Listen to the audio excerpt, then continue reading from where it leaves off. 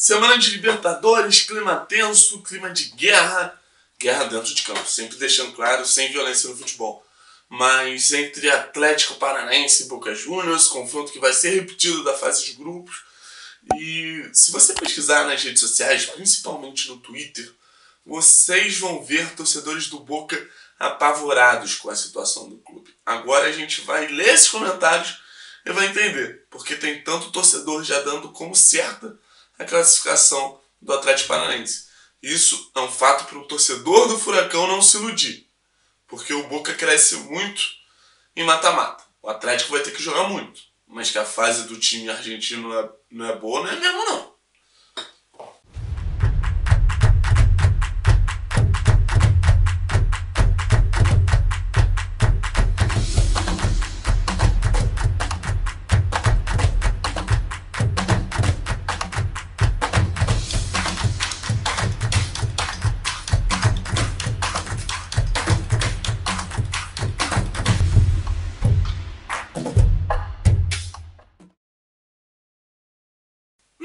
Ponto, a gente vai falar sobre desfalque, sobre o que o Boca pode apresentar de time contra o Atlético Paranaense.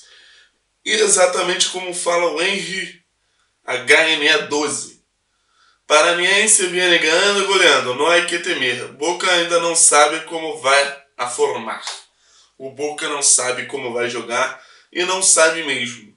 Aqui do lado vocês podem ver o provável campinho, o provável time do Boca Juniors, um time muito diferente das estrelas que, que o elenco do Boca tem, de Tevez, de Benedetto, de Pavon.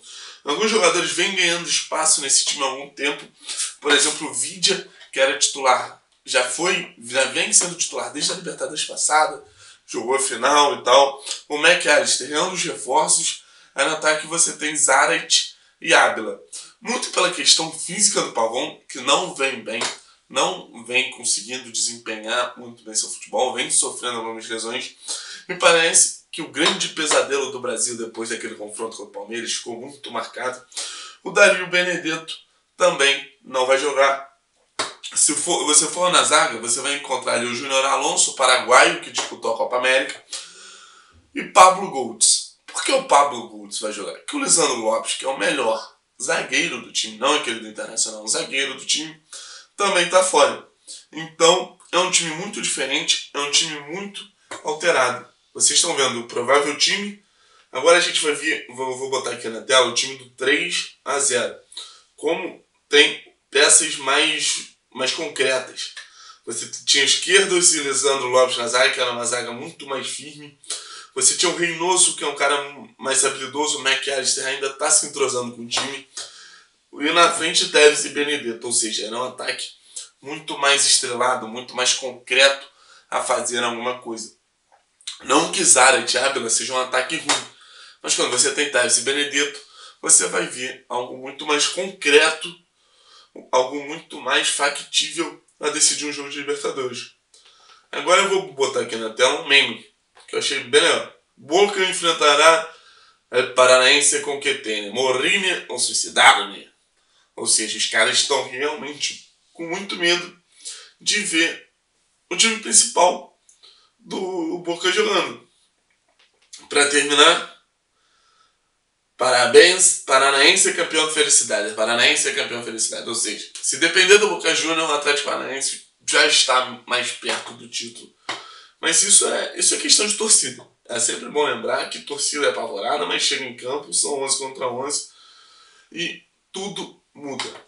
A questão é, existe uma descrença em relação a esse atual time titular do Boca Juniors, que eu vou mostrar para vocês aqui no finalzinho, enquanto eu falo, sobre o time que disputou final da Libertadores contra o River Plate. Que tinham jogadores que já estão em outros clubes, por exemplo, Magadian tá no Ajax, o Olaza tá no Celta de Vigo, Vilmar Barrios no Zenit, o Pablo Pérez está jogando no Independente do bom técnico BKSS, Benedetto deve sair, enfim, é um time diferente, é um time mudado, com muitas perdas, perdas importantes. Então isso cria uma descrença muito grande que pode ser muito útil, principalmente no jogo de ida. Se existe uma pressão pró Boca Júnior contra adversário no, na, em La Bombonera, pode ser o contrário. Algo parecido que aconteceu com o Flamengo, que aconteceu com 70 mil pessoas no Maracanã contra o Flamengo, que chegou o momento, quando teve o gol de empate do Flamengo, o estádio se calou, o estádio murchou. Não comparando torcidas, porque eu acho que a crença de apoiar, o, a cultura de apoio, de alento na Argentina é muito diferente. Mas esse processo todo que o Boca Juniors vem vivendo, de falta de confiança com o time, com o técnico e de eleição, são dois fatores que a gente vai ver para frente, transformam todo o cenário favorável para uma classificação do Atlético. A questão é, isso é teoria, prática é completamente diferente. Agora a gente vai ver por que o time não confia, o time, torcida, diretoria não mostram confiança em Gustavo Alfaro, técnico chinês, beleza? Vamos pro segundo ponto. Vamos começar lendo um tweet do José Rua 87. Joga Paranaense eu não tenho medo, não tenho medo do Atlético Paranaense. Alfaro sim. Muito está mais perdido que Mr. Bean está mais perdido que Mr. Bean, o técnico do Boca Júnior, o Alfaro. O Alfaro é um técnico vitorioso, tem algumas conquistas importantes no seu currículo, o que é relevante quando você vai treinar um time como o Boca Júnior, que tem muita pressão, que precisa de credenciais para você para se entender porque se está ali. Mas quando você enfrenta um, um Carlitos Teves nos bastidores, que o, o Teves, que é ídolo da torcida, uma figura muito querida por todos os argentinos, vira e fala que ele foi contratado por ser uma das últimas opções depois da saída do Esqueloto, que ninguém queria treinar o Boca Juniors e sobrou Alfaro, você tira muito a moral do seu treinador, você evidencia um ambiente interno muito ruim. O Gustavo Alfaro veio do Huracan, depois de um bom trabalho, não uma boa Libertadores, mas um bom trabalho no geral, conseguiu classificação para a Libertadores com um time muito, muito, muito, muito humilde. Mas no Boca vem tropeçando, foi campeão da Supercopa, mas o futebol do Boca não vem sendo o mesmo. Vem vendo o River Plate também com um técnico muito consolidado, que eu acho que isso interfere. Você vê o Munhaco Gadiardo se destacando, ganhando títulos, ganhando confronto, ganhando títulos, inclusive contra o próprio Boca Juniors, como foi o caso da Libertadores, eu acho que cria uma impressão que precisa ser um ídolo assumindo o, o Boca Juniors como era com o Esqueloto. Então, eu acho que o cenário todo é muito desfavorável para o Alfaro, que é um técnico que, além disso, não vem conseguindo exercer bem sua função. Vão, parece que vão chegar reforços de peso, como De Rossi, como Toto Salvio, já chegou McAllister, já, chegou, já chegaram outros nomes. A questão é que você vai ter tempo do, do Alfaro conseguir fazer esse time jogar, como ele já fez outros times, por exemplo, aquele Arsenal de Sarandi, campeão da Sul-Americana de 2007. O, do, o Alfaro comandava aquele time, então como eu falei, é um treinador que tem conquistas no currículo, sabe ganhar com times inferiores. Por exemplo, o Huracan, por exemplo, esse Arsenal, sabe? Então, ele enfrentar times com favoritismo, no caso, o que está nascendo para o Atlético Paranaense, questão de momento, não de história, porque nesse caso o Boca Juniors tem mais história na, na competição que o Atlético Paranaense, mas em questão de momento, esse favoritismo está nascendo para o Atlético. Isso pode ser um fator legal para o Alfaro, pela sua história, enfim, como eu já falei, costuma vencer com times menores, com times que não têm tanta confiança. A questão é, o momento é bom, ele não consegue botar o melhor time em campo. Muita gente reclama de jogadores que não vêm atuando, jogadores que vêm atuando, como o Mauro Zarit, que é muito criticado. Ele pode ter a opção do Han Hurtado, que é um atacante de um potencial enorme, de um potencial físico absurdo, que chegou do Gimnasia de Grima, mas parece que ele vai começar com Ábila, que é outro jogador muito contestado pela torcida, pela torcida do Boca, que é uma torcida muito chata, é uma torcida muito exigente. Eu já li o livro sobre a La 12 e é inacreditável o nível de pressão. Se a gente acha que em Corinthians, em Flamengo, em Palmeiras a pressão é muito grande, no Boca é muito maior. E a pressão sobre esse técnico e o trabalho ainda incompleto, que pode chegar num ponto alto, óbvio que pode, mas ainda incompleto, ainda na metade da tabela ali, numa projeção, eu considero o trabalho do, do Alfaro ainda no meio da tabela e sendo muito contestado por peças internas, ainda mais nesse processo de eleição do Boca Juniors. Então, o segundo ponto é esse. Por que a torcida do Boca está tão apavorada? Gustavo Alfaro, 56 anos. Esse é o nome do medo na torcida. O Atlético pode não assustar tanto, mas como o torcedor falou aqui, o técnico vem assustando muito. Vamos para o último ponto, que é esse processo eleitoral do Boca muito louco, que a gente acha que é só no futebol brasileiro que essas coisas acontecem, que a disputa pelo poder dentro dos clubes é muito conturbada. Não é muito assim não. Na Argentina também nos pega. Rapaziada, para terminar, acho que é o grande ponto desse as eleições no Boca Juniors. O que isso leva a campo? Vou botar um tweet agora de um perfil que acompanha muito de perto a eleição no Boca, que é o Eleições em Boca, que fala só no Boca acontece. Se traz, trazem reforços acima da arranque da Copa, não estão 100%. São jogadores que ainda não estão 100% fisicamente, como pode ser o caso de, de Hurtado, McAllister. Há jogadores vendidos antes de jogar com o Paranaense.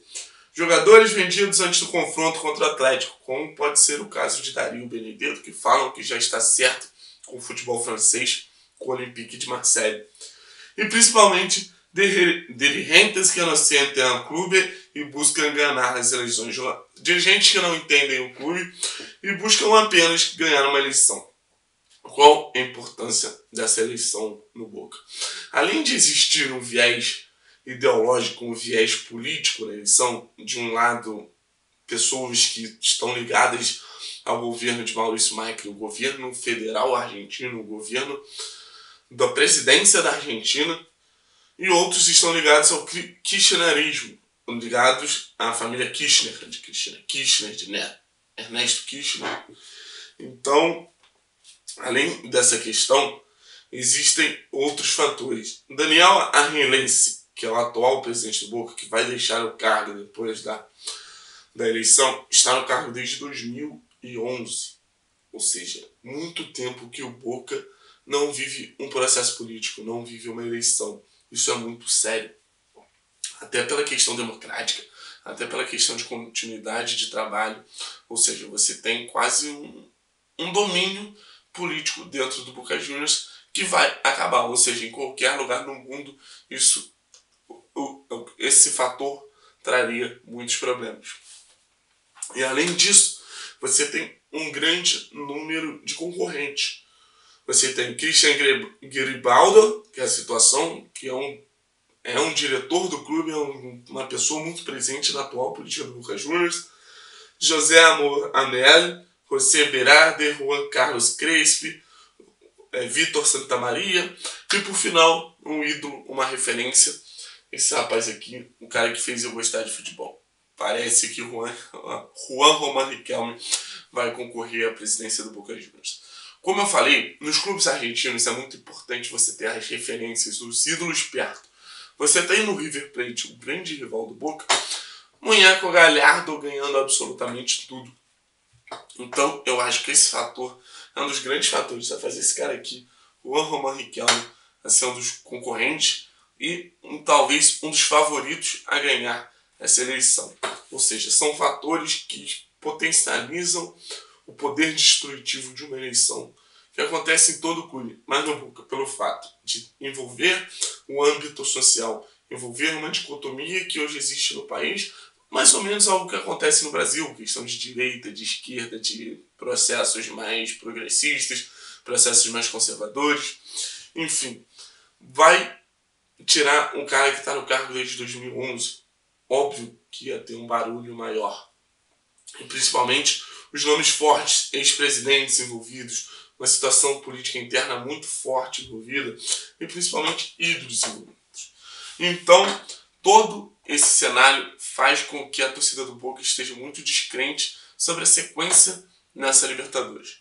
Esse foi um, um vídeo não para falar muito sobre futebol, ainda vou fazer um vídeo sobre os pontos fracos do Boca, vou estudar mais como foram os amistosos, muitos jogadores jogam subindo, que podem atuar até na Libertadores, ou seja, podemos ter surpresas daquele campinho que eu mostrei aqui. Aquilo foi baseado no que a imprensa argentina vem falando, mas é para entender, é para o torcedor do Atlético entender. Estamos pegando um clube em crise. A partir daí, dá para você seguir vários caminhos, dentro de campo e fora dele. Entende? Que você entrar no combate com o Boca Juniors talvez não seja a melhor opção. Mas você entender o momento do clube e tentar encaixar uma estratégia suficiente para desestabilizar mais ainda torcida e time, eu acho que pode dar muito certo. Eu acho que pode ser um dos grandes pontos para a classificação, que eu acho provável do Atlético contra o Boca. Não acho provável por essas questões. Também é um fator agravante. Mas acho provável pelo futebol desempenhado dentro de campo, que é o tópicozinho 2. É o tópicozinho do Alfaro, que não consegue fazer o time jogar. O tópicozinho 3 também, que fala que, como esse perfil aqui do Boca, vou botar de novo na página, fala os reforços não estão 100%, e tem jogadores vendidos antes de enfrentar o Atlético. Ou seja, é um cenário muito desfavorável para o grande campeão argentino, o segundo maior campeão da Libertadores, beleza? Espero que tenham gostado. Foi um vídeo mais de esclarecimento do que de leitura tática, leitura futebolística, como eu venho fazendo. Mas eu espero que tenha sido esclarecido. Show de bola? Como sempre falo, tamo junto. É nóis.